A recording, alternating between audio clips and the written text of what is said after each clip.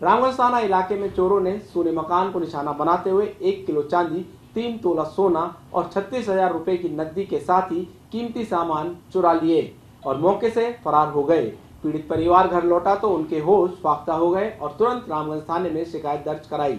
पीड़ित जितेंद्र कुमार ने बताया कि वह अपने परिचित के घर राजसमंद गए थे और तेरह तारीख को घर लौटे तो देखा इस दौरान घर के ताले टूटे मिले और अलमारियों से सारा सामान चोरी हो चुका था। जिसकी शिकायत रामगंज थाने में दे दी गई। पुलिस ने मौका मुआयना कर रिपोर्ट दर्ज कर ली और तफ्तीश शुरू कर दी। गाँव पुश्तैनी होली पर्व के लिए गए थे सपरिवार और ये तेरह तारीख को जब नाइट में यहाँ आए, तब इन्होंने देखा कि बाहर का जो लॉक है, वो तो लगा हुआ है, लेकिन अंदर की साइड वाले दोनों लोग तोड़ के और इनका जो ये रूम है, इसके अंदर से लगभग छत्तीस हज़ार तो कैश और आधे से पौन तोला चांदी, जिसमें दो रखड़ियाँ थी, पाँव के कड़ले थे और एक गोल्ड का जो मादलिया और कानों के झुमके लगभग डेढ़ से दो तोले सोने के वो थे। टोटल मिला के ये डेढ़ से दो लाख रुपए का ये हुआ है। और हमको जब कॉलोनी वालों को इन्होंने सबने बुलाया, तब हम सब आए और रामगंज थाने में हमने जाके इन्फॉर्म किया।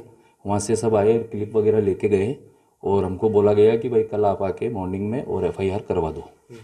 हम कल जाके एफआईआर भी करवा के आ चुके हैं। लेकिन इससे पूर्व भी, एक महीने लगभग पहले हमारे ये आदरणीय कॉलोनी के रामजी भाई पटेल हैं। उनके साथ भी इसी प्रकार का ये जो अंडरपास है अपने वीर तेजाजी नगर में यहाँ भी चोरी की मतलब छीना चपटी की वारदात हुई थी उनके ऊपर हमला भी हुआ था और उसकी भी एफआईआर हम लोगों ने करवाई थी। हमारे सरपंच प्रतिनिधि है चंद्रभान जी उन्होंने वो भी करवाया था। किनका मकान किनका ये जितेंद्र जी का मकान है। क्या करते हैं ये? ये रेलवे के अंदर है पोस्टल इलेक्ट्रिकल डिपार्टमेंट में। तो कौन से गाँव गए थे ये?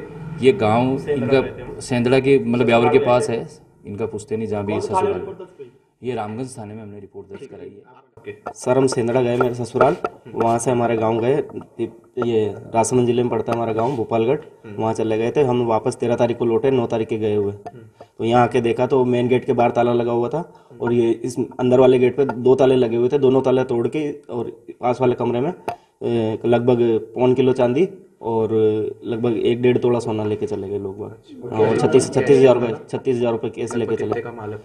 लगभग डेढ़ डेढ़ से पौने दो के आसपास। मामला दर्ज करवा दिया? करवा दिया सर मामला दर्ज करवा दिया। रामगंज थाने में दर्ज करवा दिया सर। पुलिस आ गई? पुलिस आई थी सर हेल्प एंड पुलिस आ गई थी। आपका नाम बता दीजिए। मेरा नाम जितेंद्र सिंह रावत है सर। यहीं वीर तेज नगर एक सौ इक्यावन नंबर प्लॉट में